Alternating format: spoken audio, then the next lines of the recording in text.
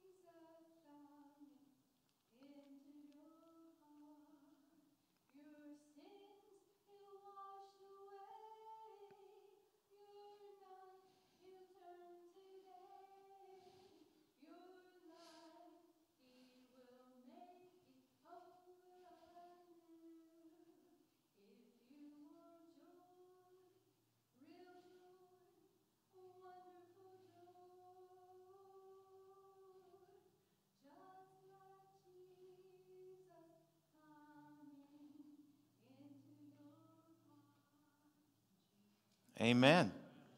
That's a good word. Amen. Ain't that the truth? Amen. Amen. Good. Thank you for that. Well, folks, let's jump into this. Uh, we're going to try to cover a few verses tonight. Uh, this, we're going to start with verse number 19 tonight, but a couple of things before we get into the text. Um, you know, last week we talked about how that Paul experienced joy through the ministry, the ministry that God had anointed him to to bring to this planet, if you would. He had joy from that ministry. Amen. I imagine that probably there's some people in here that do various things that brings joy to you. Amen. I love to garden. I just that's just something that I don't know where I got that from, but I love to plant gardens, raise gardens.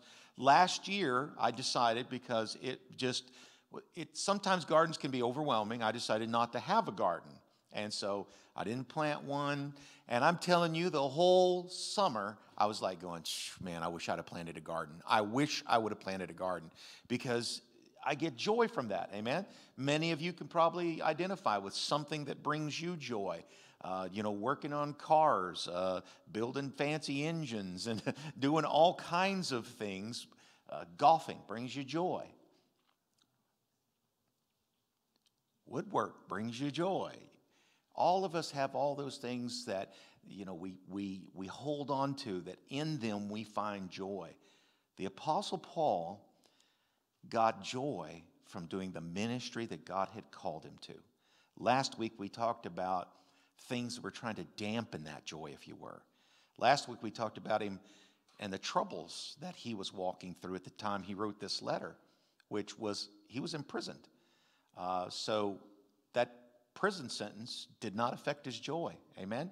He had joy in spite of that situation. Last week we talked about people that, that were his detractors. All of those individuals that were out there saying bad things about Paul. They were, uh, you know, they were saying bad things about Paul, amen? And, uh, you know, even that did not quench his joy, amen? So today we're going to go on with a couple more of those things through the text that we're getting into. This joy that he had, there was nothing that could cause him to lose his joy. Not trouble, not detractors, and these next two, death and the flesh, are these next two that we're going to talk about. Um, despite all the trials, despite all the sufferings, despite all the sorrows that the Apostle Paul experienced, uh, there was nothing that could cause his joy to go away. Let me just read you out of 2 Corinthians 11 23 uh, through 33. Are they servants of Christ? I speak as if insane. I more so in far more labors, in far more imprisonments, beaten times without number, often in danger of death. Five times I received from the Jews 39 lashes. Three times I was beaten with rods. Once I was stoned. Three times I was shipwrecked. A night and a day I have spent in the deep. I have been on frequent journeys in danger from rivers, dangers from robbers, dangers from my countrymen, dangers from the Gentiles, dangers in the city, dangers in the wilderness, dangers on the sea, dangers among false brethren. I have been in labor and hardship through many sleepless nights and hunger and thirst, often without food and cold and exposure. Apart from such external things, there is the daily pressure on me of concern for all the churches who, who, who is weak without my being weak, who is led into sin without my intense concern. If I have to boast, I will boast of what pertains to my weakness. The God and Father of our Lord Jesus Christ, he who was blessed forever, knows that I am not lying. In Damascus, the, the, the ethnarch under that king was guarding the city of Damascus, or Damascenes, in order to seize me, and I was let down in a basket through the window, the walls, and so escaped in his hands. So, this is just a quick list, if you would, of all the things that the Apostle Paul went through. Like I said, the sorrows, the troubles, the, the sufferings that the Apostle Paul experienced. There was none of these things that could ultimately quench his joy. Now, I don't believe that he was probably giggling in the middle of those 39 lashes that he took the various times on his back, beaten with rods, uh, uh, stoned. I don't think he was giggling with that. But through it all, I mean, even whenever we see he was beaten and thrown into prison with, uh, with Silas, you know, the joy broke out in the middle of the night and he started singing hymns. His ministry, even though he experienced all of these things, his, his ministry experience brought him joy. Um, these next few verses that we're going to get into, the Apostle Paul talks about uh, four issues that might have brought him trouble. My, uh, excuse me, might have robbed him of his joy. The first one we talked about last week, which is trouble. Second one, detractors. The third one is death. The fourth one is the flesh. So, as I said, these first two issues, we've covered them already. Um, but he reveals that both the impending threat of death, because he, was in a he was really in a bind. I mean, they could have literally just said, cut his head off, and they would have. Uh, and the sorrows of living in the flesh. Now, just I'm going to do this later a couple of times, but it's not the same flesh maybe that you think of a lot of times. The flesh is a sinful flesh. The Apostle Paul's just talking about living in the natural, living, living in the flesh here instead of living in the spirit in heaven. Amen. So let's jump into this. This is Philippians uh, 1 uh, 19 through 21. He says, For I know that this will turn out for my deliverance through your prayers and the provision of the Spirit of Jesus Christ, according to my earnest expectation and hope, that I will not be put to shame in anything, but that with all boldness Christ will even now as always be exalted in my body, whether by life or by death. For to me, to live is Christ, and to die is gain. Man, do you know how many scriptures that we quote out of the book of Philippians? Amen. So that's one of them right there. So, in spite of death, I'm okay with that. As long as the word is glorified, as long as Jesus is glorified, even with death. So, last week we learned it really didn't make the, the Apostle Paul any difference if he was imprisoned or maligned by his uh, uh, detractors or facing possible execution, as long as what? The gospel of Jesus Christ was preached. Man, he said, Man, it doesn't matter to me if they're preaching it out of uh, a good heart or a bad heart, as long as it's being preached. That's really all that really matters to me. So Philippians 1:18 says, "What then? Only that in every way, whether in pretense or truth, Christ is proclaimed." Amen. So he was fully confident that despite these crazy circumstances that he was living in the, in, in the midst of, that Jesus Christ, his Lord, would cause him to triumph. I mean, you know, if we could walk around with that kind of attitude all the time, no matter what I'm in, God's going to cause me to triumph. I'm a win. No matter what comes my way, no matter what circumstances that I might be living in, God is going to cause me to triumph. That's what Paul thought. That's, that's what he preached. So, whenever he starts to face death, I mean, if you're in prison, how many of y'all know that the legal system in the Roman Empire, they killed a lot of people? Amen? I mean, they killed a lot of people for doing things that you and I would never think people get killed from. Do y'all remember the two people that were hanging on either side of Jesus? Do you remember what they did? They were thieves. They were just thieves. They were probably petty criminals that literally they were executed for their crimes.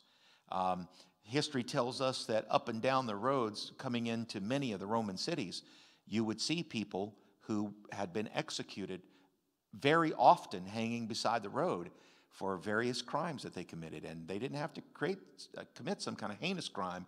Uh, most of them were very petty crimes compared to what we would execute somebody for today in the United States. So, no matter what kind of ne- negative situations that he might have been in, the Apostle Paul knew that the Lord was going to cause him to triumph so he could face death without any kind of fear. Uh, in these verses that I just read, he mentions five realities on which comp- this confidence that he has is based. So the first thing that he mentions is this he is confident in the precepts or he's confident in the word of the Lord. This is what he says For I know, listen to this, I know that this will turn out for my deliverance. So the Apostle Paul, he said, Man, I'm, I'm, I'm sure that the, whenever you go back to the Greek, it means that you know something with certainty. Amen? Because a lot of times we say, I know. Uh, I know this, I know that. But, you know, every once in a while we say something that we really, really know. Amen? Does that make sense? Because I think we use the word know a little bit sometimes in the, in the wrong way. But the Apostle Paul here uses a word in the Greek that means he knows something with certainty. Paul was absolutely convinced that his present suffering at the hands of both unbelievers and believers would turn out for his deliverance. Amen? How many of y'all know that there's probably many ways that God can deliver you from a situation? Amen? Many ways. I can remember praying earnestly for folks that God would heal them. Various things was happening in their physical bodies, and uh, um, I've seen God do miracles. But I've also seen people that have passed away and gone on to be with Jesus. And you know, you go, man, you know, what, what is this? Up? Uh, God can deliver us. Well, as Michelle said this morning, He's a sovereign God. And, you know, His ways, we don't understand them all. But God has different ways of delivering. And so he says, I know this. I'm convinced that this suffering that I'm in, it is going to turn out for my deliverance. He actually quotes a scripture there from the Old Testament. This is Job talking to Zophar, and this is what it says in Job 13, 16. This also will be my salvation. Same context there. Uh, Paul uses uh, deliverance, but uh, Job uses salvation. So Job understood that the sufferings that he was in, and how many of y'all know that Job was suffering in a, in a degree that I don't even, I can't even put my mind around. He knew that it was not God's punishment for sin. Job was a righteous man. Uh, Paul, just like Job, fully believed that one day God was going to deliver him. So he can say it with confidence. He says, Guys, I'm going to tell you something. This is going to turn out for my deliverance. This, this is definitely going to happen. So he's very confident with that. You know, Paul, man, what was it? Romans 8 28. You guys remember that one? And we know that God causes all things to work together for good to those who love God and those who are called according to his purpose. This is a place right here where he's applying what he preaches. Amen? He's, he's saying, guys, this, this, this marvelous truth, I'm applying it to my own life. He knew that his conscience was clear. He knew that uh, he wasn't being, you know, divinely chast, uh, uh, chastened by uh, a loving God, but he was fully convinced that God would cause the present suffering that he was in the midst of to work together for his good. For I know. I mean, man, you know, Paul says that, and he knows it. I was uh, told this story a couple of times. I'm sure many of you have heard it, but maybe one in here hasn't.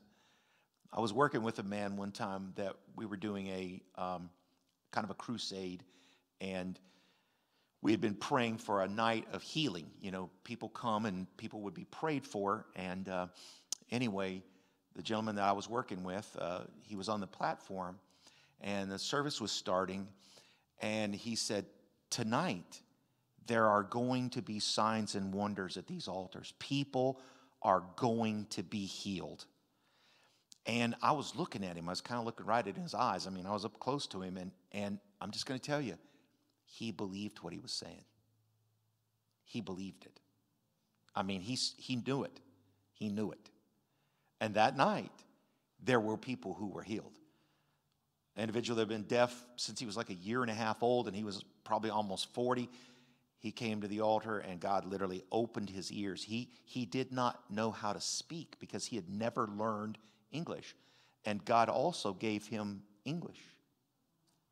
You know, it's crazy. I mean, and other miracles took place. But I was watching him, and whenever he said it, he believed it. You know what I'm saying? I mean, he believed it. That's Paul. He said, For this I know. I know this one. Deliverance, the Apostle Paul talks about here. Deliverance is from the Greek word, as I said a moment ago, oftentimes it translates salvation. A lot of commentators uh, out there believe that this was referring to the Apostle Paul's deliverance from sin, the Apostle Paul's deliverance from death from that sin. So, in other words, this was deliverance through the blood of Jesus Christ. I've, I've been delivered from death and sin. Amen. Anybody that's born again can claim that. Some people believe that's what the Apostle Paul was talking about.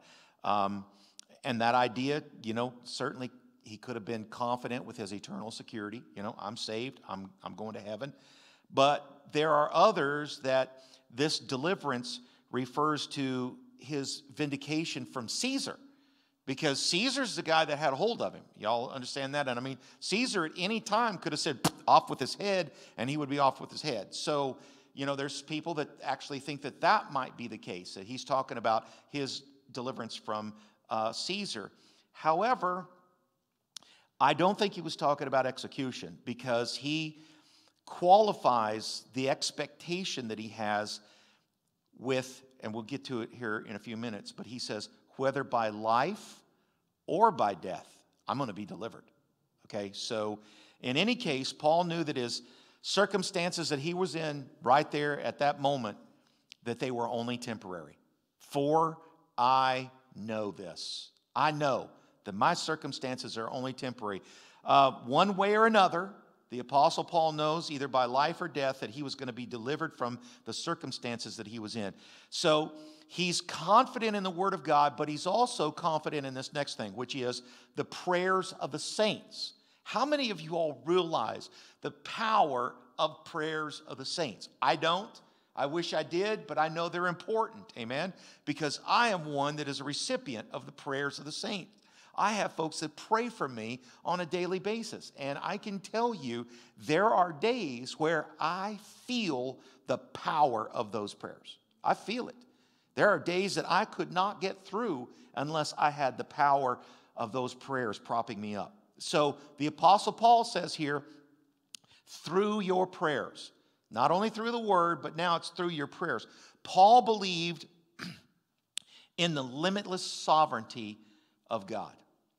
And he took that confidence and he took God's word and he knew that through the prayers of, of through prayers period not just his not just people around him but he knew that that the purpose of his life would ultimately be carried out so he also knew that god's sovereign plan incorporates prayers we have to pray for one another I don't think we realize how important it is to pray for one another. I, I can tell you, I don't believe we really understand how important it is to pray for your spiritual leaders. Um, years ago, some of you probably remember this and some of you probably don't. I moved to Winston-Salem, North Carolina, and uh, a whole series of things uh, went in the assemblies of God. Um, Tammy Faye Bakker and Jim Bakker and the PTL thing just exploded. And then I think it was just immediately after that, just not very long after that, uh, Jimmy Swaggart, uh, you know, just exploded. And uh, I, uh, I got an opportunity to talk to one of the men that was uh, leaders in our Assembly God movement. And basically, um, you know, he was in a staff meeting, and basically he said this. He said, uh, as far as it is with Swaggart, he said one of the things that has really uh, been on my heart is that I should have prayed for him more. I mean, he was humbly admitting that he had forfeited opportunity to pray for Swaggart. And I just, I'm curious. I mean, I wonder if enough people were praying for him if it hadn't, if it wouldn't have turned out like it had turned out. Because you realize he was supporting literally hundreds of missionaries. His ministry, worldwide ministry, was keeping hundreds of missionaries on the field. And whenever that ministry exploded, hundreds of missionaries were instantaneously not supported and they had to come home. You know, it's missionary works all over the place. And so the Apostle Paul especially appreciated the prayers of the Philippian church. Obviously, they were a very beloved congregation to him. But the apostle knew, as it says in James 5:16, the effective prayer of a righteous man can accomplish much. So the Apostle Paul was one who diligently prayed himself, but one of the things he continually did was encourage other believers to pray diligently.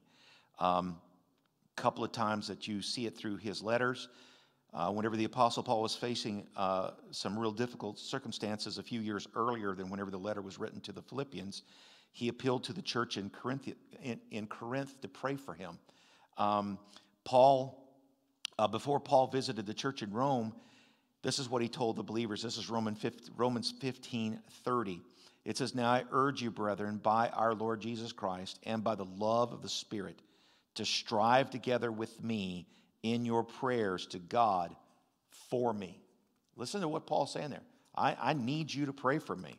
Um, uh, during that same imprisonment, whenever he wrote Philippians, he also admonished the Ephesians this.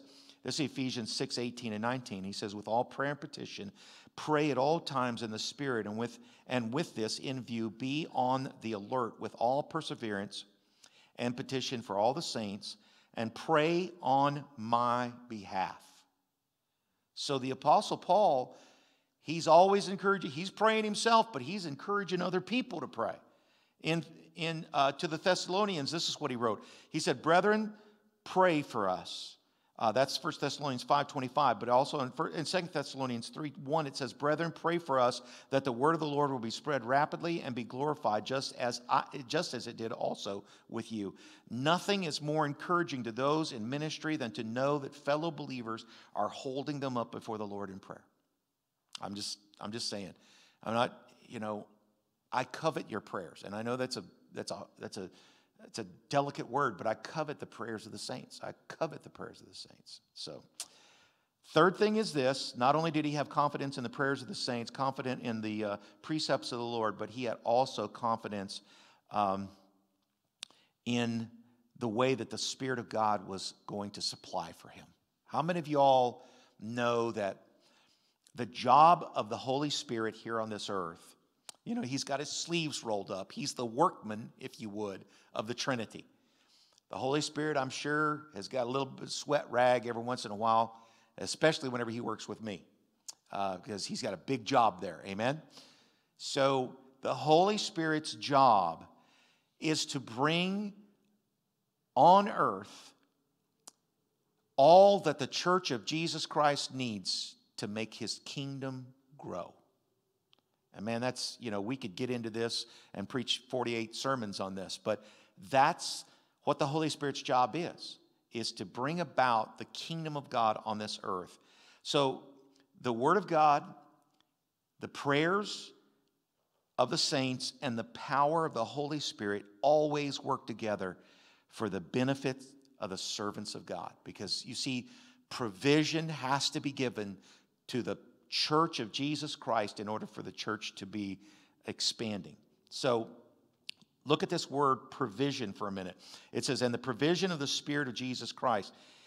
That word there in the Greek literally describes a, a full or a bountifully or a sufficient supply of what is needed. And immediately, what I think of is whenever I think of full or bountiful, sufficient supply, is pressed down, shaken together, and running over. Amen. I believe that is the heartbeat of the Spirit of God. And so the Apostle Paul says, Hey, I know this. I know this is going to happen. I know because the Word of God. I know because I got people praying for me. I got people praying for me. And I'll tell you something else the Holy Spirit is my source. He is, he is going to bring me sufficient resource so that I can get through this. Everything I need, the Spirit of God is going to supply it for me. Um, the Holy Spirit, and just very quickly, I'm going to go over these. I mean, man, I could have spent hours on these, but He provides guidance for us. I mean, the Holy Spirit wants to order our steps. Amen? The steps of a righteous man are ordered by God. So He's going to provide guidance for us.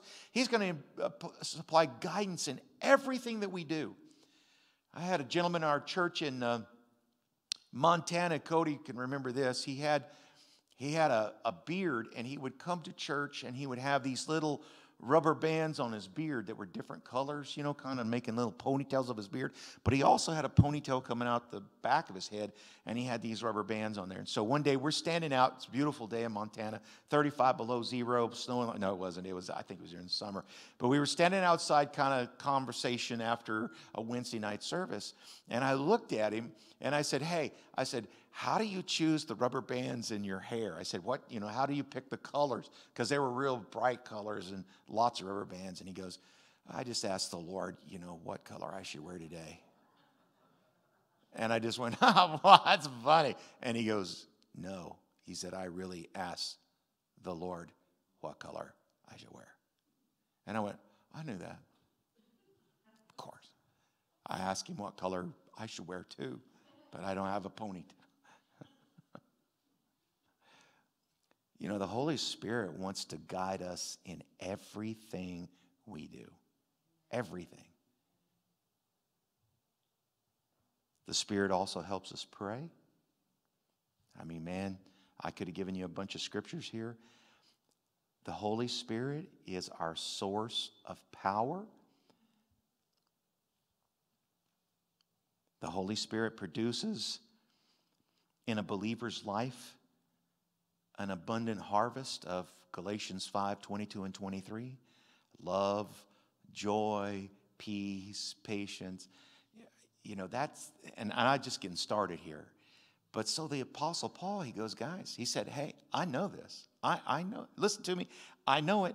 I know it. The Word of God. I'm telling you the prayers of the saint. I'm telling you the supply of the Holy Spirit. I'm confident. I'm confident of this. Amen? So we, we see Paul in a different light through this. Man, I mean, Paul knew it. He knew it. He knew he was going to be okay through this, if you would. So there's one more that I want to talk about. That's Philippians 1:20. It says, "According to my earnest expectation and hope that I will not be put to shame in anything, but that with all boldness Christ will even now, as always, be exalted in my body, whether by life or death. So the Apostle Paul had a real confidence in the promise of Jesus Christ. The idea is that Paul's earnest expectation, his earnest hope, were grounded in the Lord's promise, not in the apostles' wishful thinking. Earnest expectation is a compound word that literally refers to the stretching of the neck. Not like that. Earnest expectation. You ever stretch your neck in earnest expectation? Do I see him coming? Yeah? Yeah? Anybody besides me ever do that? I mean, man, that's kids. They're the ones that are good at that, aren't they? You know, are they, are they coming? I see it. I see it. It's coming. That's what it's talking about there. So Paul has this earnest expectation, this earnest hope. Um, it's this eager um, longing, this expectancy but he also reinforces this earnest expectation with this the synonym of that which is hope this earnest hope he could have just said that but he said man i've got an earnest expectation and i have an earnest hope paul was certain that in the eyes of god he would never ever truly be put to shame do you realize what it was going to look like if caesar snatched him up and executed him y'all i mean that, that's not a good thing so Paul knows that he's never going to be truly put to shame. Whether it's Caesar, whether it's those detractors, whether it's uh, um, the church, it makes no, no difference. He is ultimately going to be vindicated. How many of you all know that Paul was vindicated? We're reading right now from a Paul that was vindicated. Amen? I mean, the church didn't go, okay, man, when Paul wrote that, let's just kind of bury that somewhere because, you know, this is a bad deal. Jesus Christ vindicated him. Amen.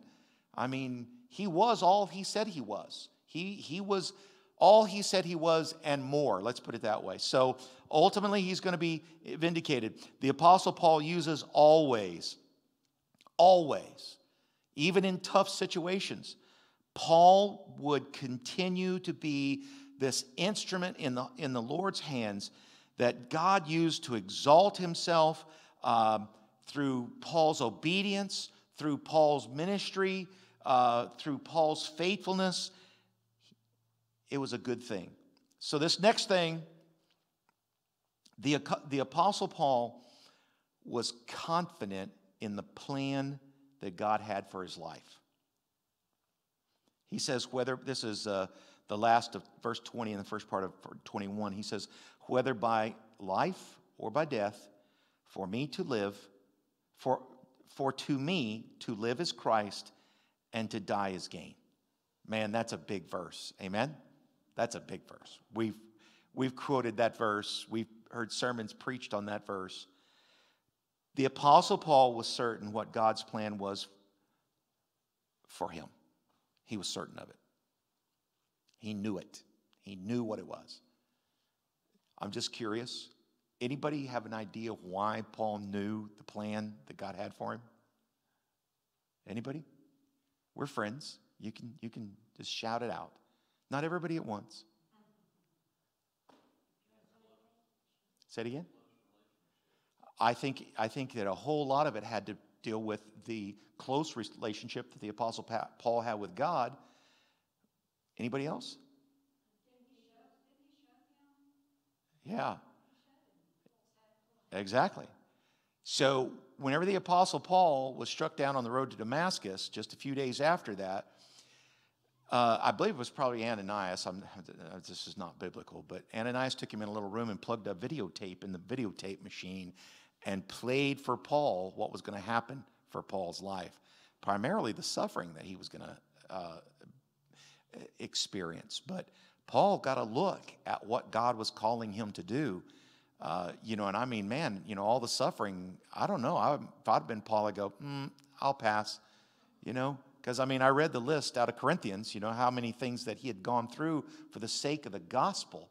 And the Apostle Paul was still just full of joy, you know? I mean, my goodness. You know, I believe that Jesus knew the suffering he was going to go through, and he still came and he died full of joy. Amen? So the Apostle Paul had confidence in the plan of God. Uh, Paul was certain what God's plan was for, for, for him, whether he would continue to serve and exalt him through the life and the ministry that he was right now in the midst of, or if he would ultimately be exalted through death. Uh, either way, the Lord's will be done.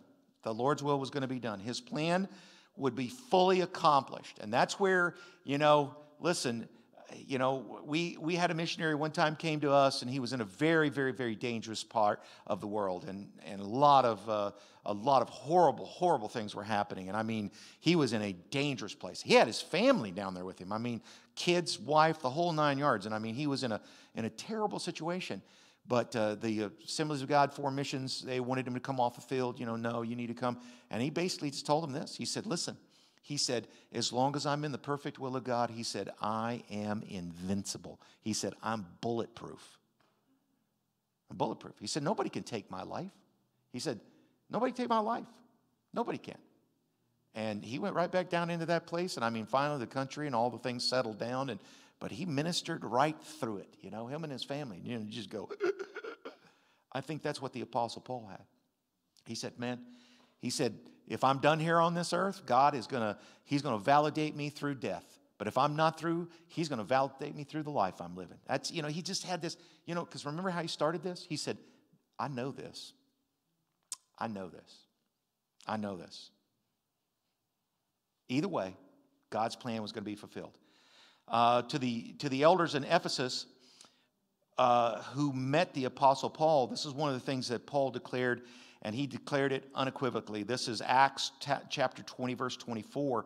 He says, But I do not consider my life of any account as dear to myself, so that I may finish my course and the ministry which I received from the Lord Jesus Christ to testify solemnly of the gospel of the grace of God.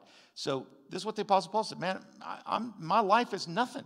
My, I, I, don't, I don't hold anything in my life dear so that I may finish this course. So, um, later on, uh, the Apostle Paul says this uh, to the believers in Caesarea. Um, he says, What are you doing, weeping and breaking my heart? For I am ready not only to be bound, but even to die at Jerusalem, die at Jerusalem for the name of the Lord Jesus Christ. So there was a prophecy that came forth about his impending arrest, and it was a true pro- uh, true prophecy. Well, they all should be true, but y'all understand? And I mean, everybody's oh. He goes, man, shut up. I'm okay. He really didn't say shut up. He said, cállate.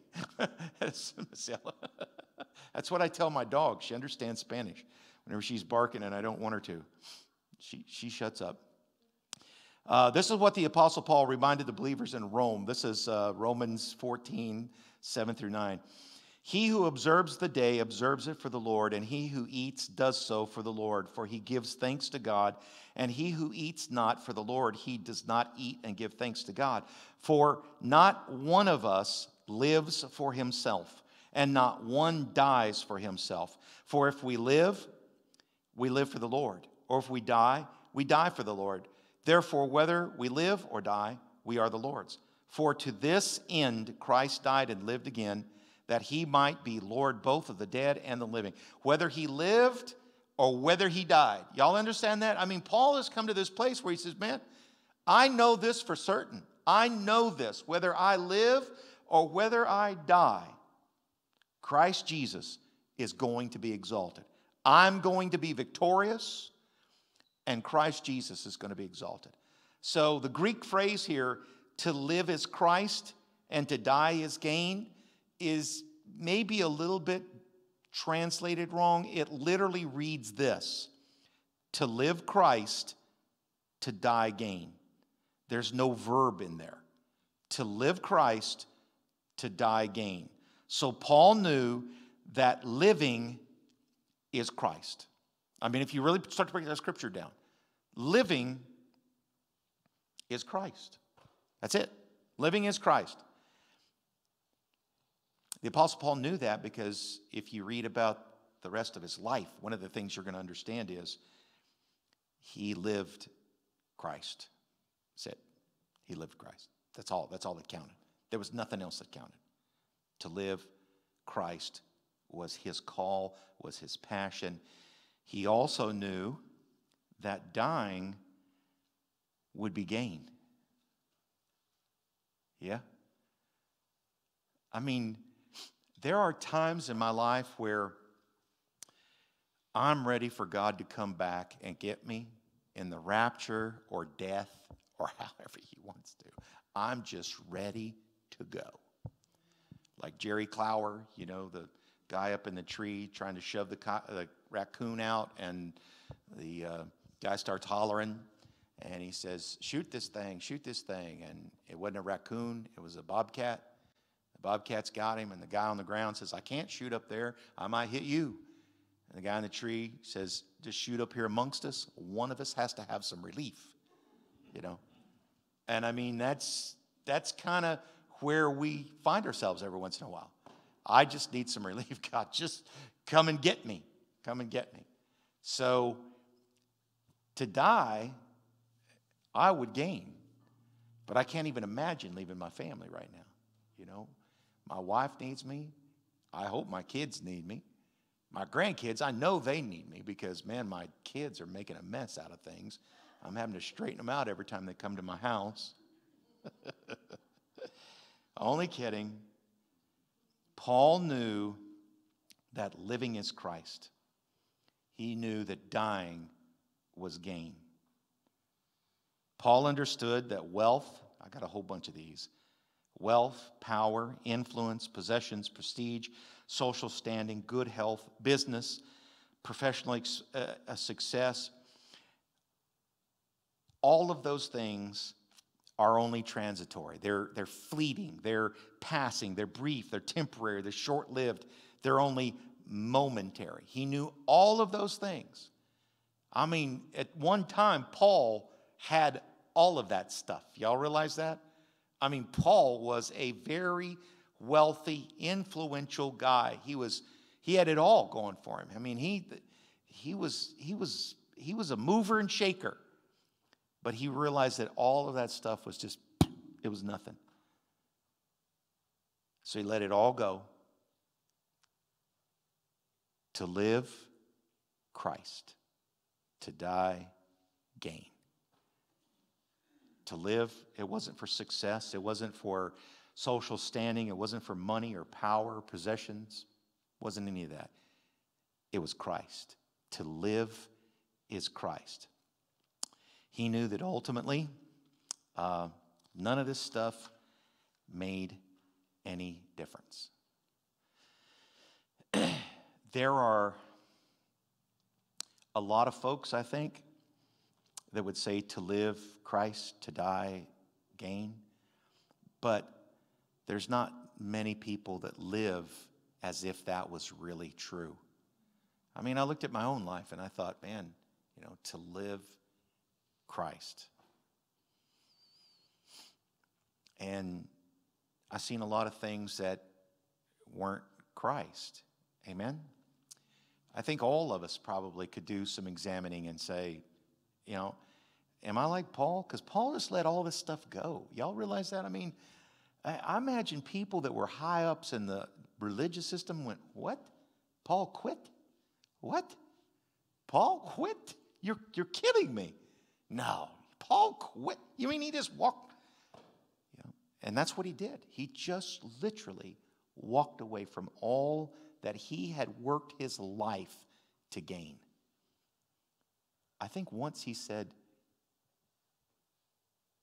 ah, something about all the stuff being, was it dung? I mean, that's what he compared it with. He's, it's, it's, it's useless. Um, I think that there's few people that can actually say what Paul said. To me, to live as Christ and to die as gain. The apostles' very being, I think, was wrapped up in Jesus Christ. Nothing mattered. Nothing mattered. Nothing mattered but Jesus. I think the trust and the love and how he wanted to serve and how he wanted to witness. And I, I, think, I think that he was in every way devoted to Jesus. I think in every way he was dependent on Jesus Christ. And, you know, I'm not trying to make the Apostle Paul, you know, look better than he was, but I'm telling you, you know, he had some flaws, no question. But this guy was amazing. Because how many of y'all know whenever he wrote this stuff, he wasn't fudging? Is, is that making sense? I mean, he's, you know, writing this down. He said, Boy, this really sounds good. Makes you look good, too. I mean, he was underneath the inspiration of the Holy Spirit. So the Apostle Paul's not going to fudge in this thing, you know. I've often wondered about John. You know, John, he calls himself the, the, the disciple that Jesus loved, you know. And I'm thinking Peter said, Hey, what, did you write this? What about me? Am I chopped liver? What's the deal? But you have to remember that John was the guy that was inspired by the Holy Spirit to write the book of John. And John was the one who was standing there at the foot of the cross and said, Hey, John, look over there. That's your mom now. I mean, that was a big ask. Amen? So, you know, I don't know, but Jesus might have loved John in a different way, if you would. But these guys didn't fudge. That's what, you know, we read through this and you go, you know, Paul, you, you're making yourself sound really good here. Paul's only hope, his only purpose, his only reason to live was Jesus Christ. I mean, whenever he traveled, it was Jesus. Whenever he preached, it was Jesus. Whenever he was persecuted, whenever he was imprisoned, what was it? It was Jesus. Everything was Jesus. Just everything. Ultimately, the Apostle Paul, he had died for Jesus Christ. But even in his death, he gained. Amen? eternally he gained. Oh man, I got to hurry. Okay. In spite of being in the flesh, in spite of being in the flesh, as long as the church was benefited. So this is Philippians 1 22 through 26. It says, For I am to live on in the flesh. Oh, for if I am to live on in the flesh, this will mean fruitful labor for me, and I do not know which to choose. But I am hard pressed from both directions, having the desire to depart and be with Christ, for that is very much better. Yet to remain on in the flesh is more necessary for your sake. Convinced of this, I know that I will remain and continue with you, with you all for your progress and the joy and joy in the faith, so that your proud confidence in me may abound in Christ Jesus through the coming, through my coming to you again.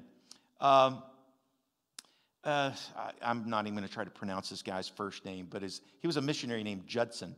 Uh, he was one of the first missionaries uh, sent out from America. Um, in the early 19th century, he and his uh, f- first wife went to India and a short while later to Burma, where he labored for nearly four decades. After 14 years, he had a handful of converts and had managed to write a Burmese, uh, write a Burmese grammar. During that time, he suffered a horrible imprisonment for a year and a half. He lost his wife and his children to disease. Like Paul, he longed to be with the Lord but he also, like the apostle, he considered his work for Christ to be infinitely more important than his personal longings. So this guy lost his wife, he lost his kids, he's lost his health. The story doesn't go into it, but he's lost his health. Uh, he's you know almost completely defeated. He's worked there all these years and he just doesn't hardly have anything to show for it. He therefore prayed that God would allow him to live long enough to translate the entire Bible into Burmese and to establish a church there to, of at least 100 believers. The Lord granted that request and also allowed him to compile Burmese English, Burmese to English, and English to Burmese dictionaries, which became invaluable to the Christian workers, both foreign and Burmese, who followed him. He wrote, If I had not felt certain that every child was ordered by the infinite love and mercy, I could not have survived my accumulated sufferings. So here's a missionary that has gone through hell. And I'm just going to tell you, I have an idea. There was something in him that would have said, listen, I just want to die. I just, I just want to die. Because he knew. I mean, I think you probably read this in Philippians. To die is gain. But he decides to ask God to stay here part of the spiritual greatness is to know Christ intimately and to long to be with him. I mean, man, that's that's one of the greatest things that you and I can feel. Amen. I want to go be with Jesus. I really do. I want to I want to go now. I didn't know if that'd work or not, but it, that's something we feel. Amen. I mean, I hope every believer feels that way. Years ago, my senior pastor called me into his office and he goes, JD, you ever been to Israel? And I said, Nope. I've been to New Mexico. And he says, he said, Do you want to go to Israel? And I mean, man, my answer was yes, a hundred times. I've I think every Christian should I want to go to Israel. I mean, seriously, it, it is it is eye opening to the scripture. I mean, it, it makes the word come alive to you in ways that you could never do it outside of visiting Israel. It's an amazing place. But I told him, I said, Yes, yes, I want to go to Israel. And he said, Well, somebody in the church wants to pay your way. So if you want to go, you need to get a passport and get on the plane. And so it was a it was the most awesome trip.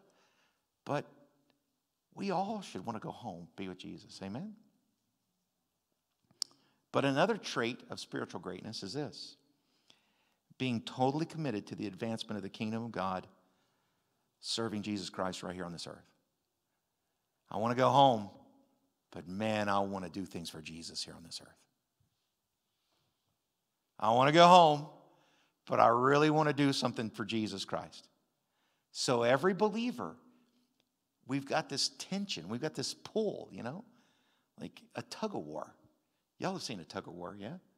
People get on one side of the rope, people got on the other side of the rope, and everybody pulls with everything that's in them, except for the lazy people. They just kind of hold the rope. And Jesus, ah, excuse me, the, the tug of war is kind of like what we feel for Jesus. We, we want to go home, but we want to stay here and serve Him. Amen? It's a pool. The Apostle Paul had the same dilemma we had. He wanted to go home. To die, what? Is gain. I mean, man, but to live is Jesus. And I want to serve Jesus. I think he longed to be with the Lord. Um, he, what, what does he say? Um, uh, to live on in the flesh, he knew he would have fruitful labor. So if he's going to live on in the flesh, man, if he's going to stay here in, in this body, he's going to have fruitful labor. And that fruitful labor is going to ultimately bring glory to Jesus Christ.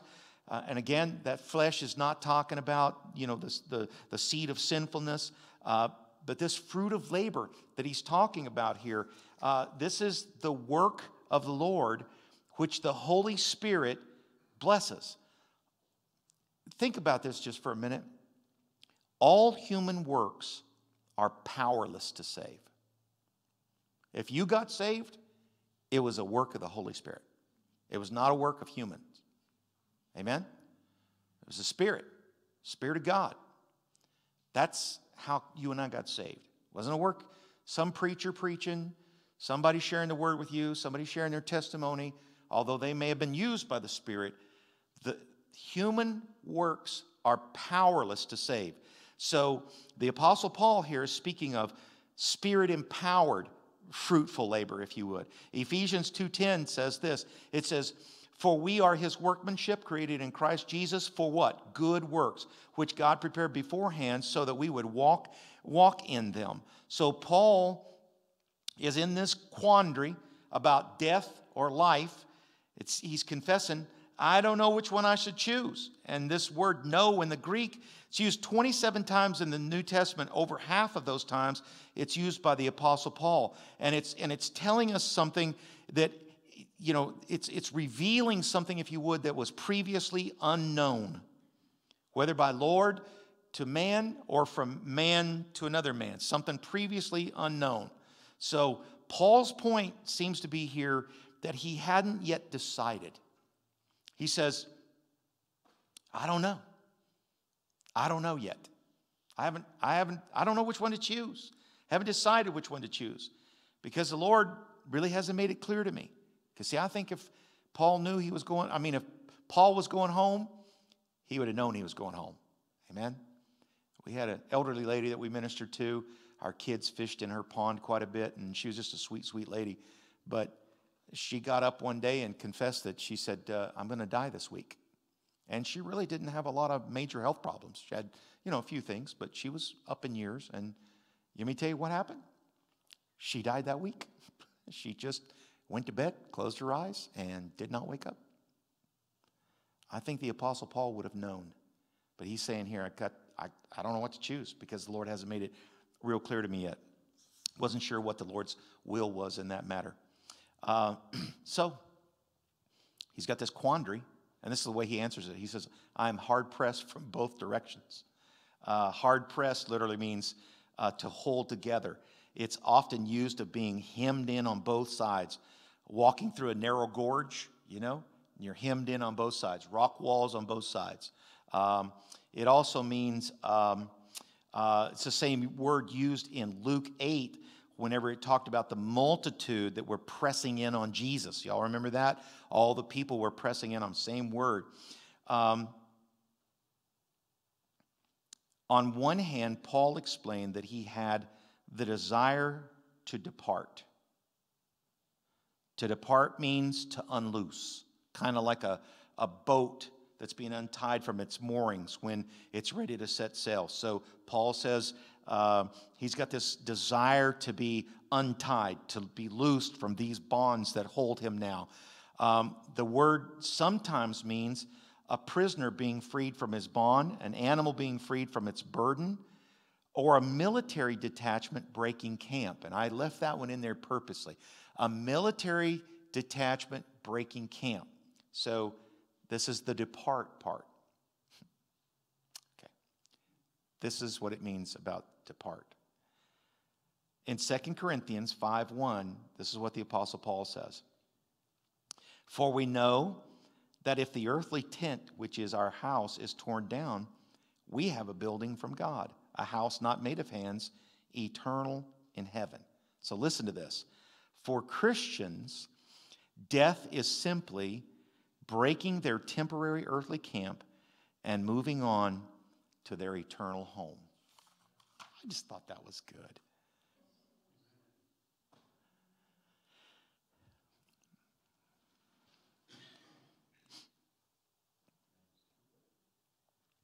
This word depart that the Apostle Paul used is a word, a euphemism for death.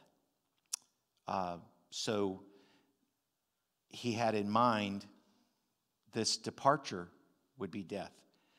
His second letter to, to Timothy a few years later, he told Timothy in Timothy, uh, 2 Timothy 4 6, he says, For I am already being poured out as a drink offering, and the time of my departure has come. So the Apostle Paul is telling Timothy, I'm fixing to die. It's going to happen. Uh, Philippians 1.23 um, kind of lets us know a couple of things, and I just want to just mention this quickly. Um, there are a lot of people that believe that whenever you die, that you go into what is called soul sleep. Has anybody ever heard of soul sleep, where you just die and you just are asleep until the resurrection? And uh, I just kind of think that this is a good place we can kind of look at that.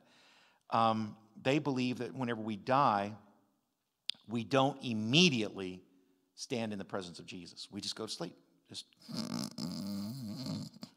boy, don't you know there's a lot of snoring going on in places.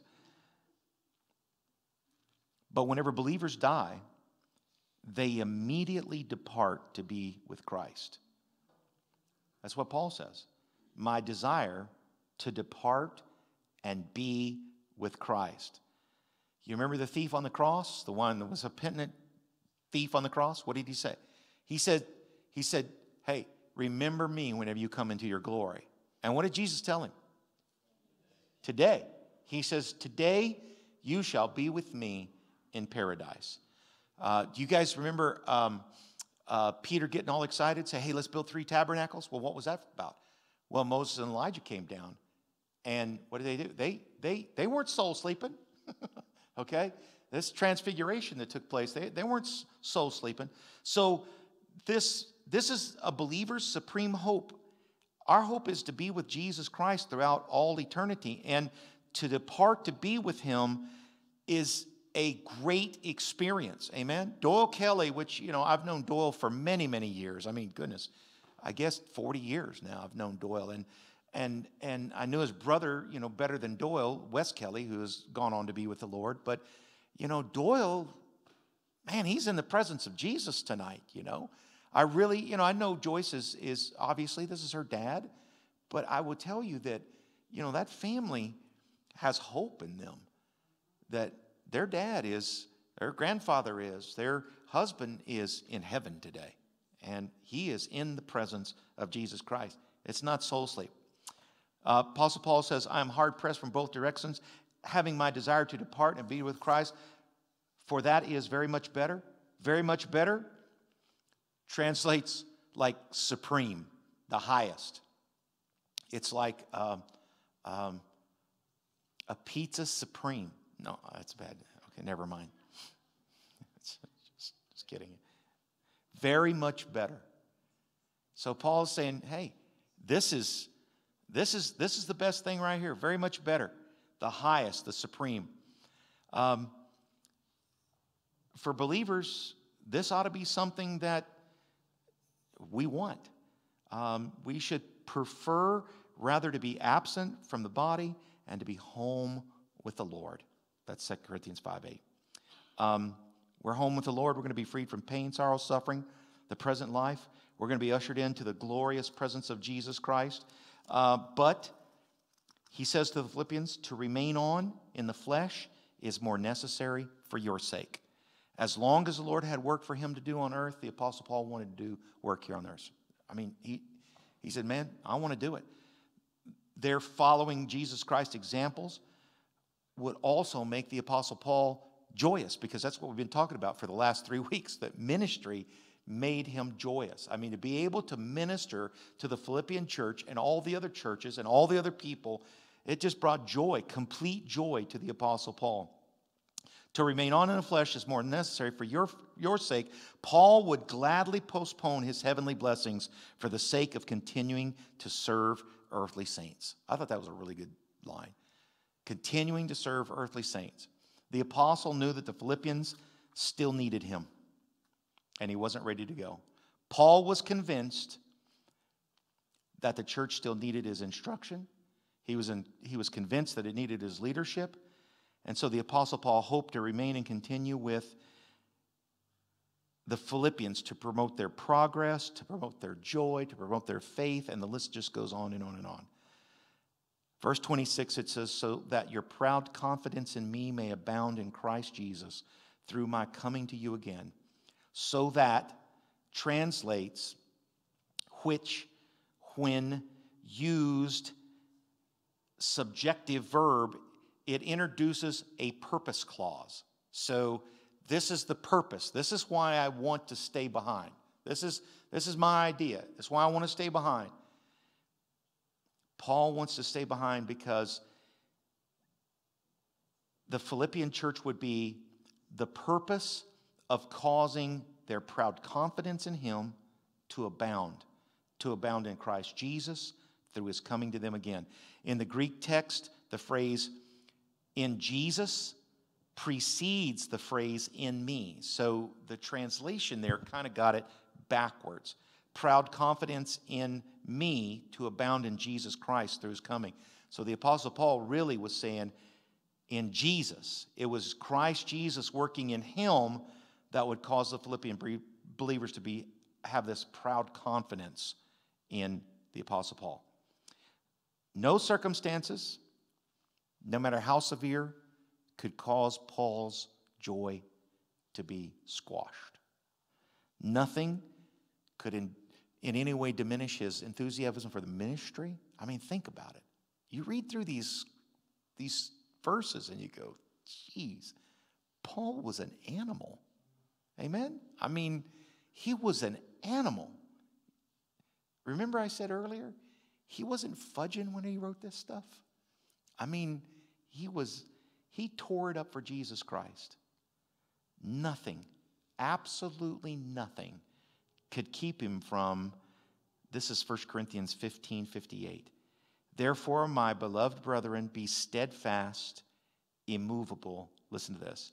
Nothing could keep him from always abounding in the work of the Lord, knowing that your toil is not in vain in the Lord. Nothing could keep the Apostle Paul from that. He was an animal, man. He was an, he was an animal.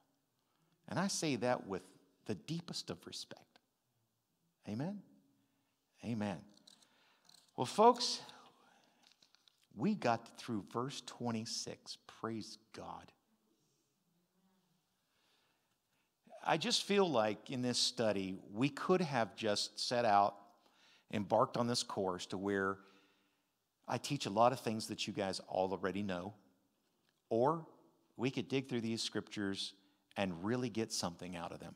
And so I just made the decision. Now, I may speed up and slow down and speed up and slow down, but I really felt like these, these first few verses were really important for us to dig into them.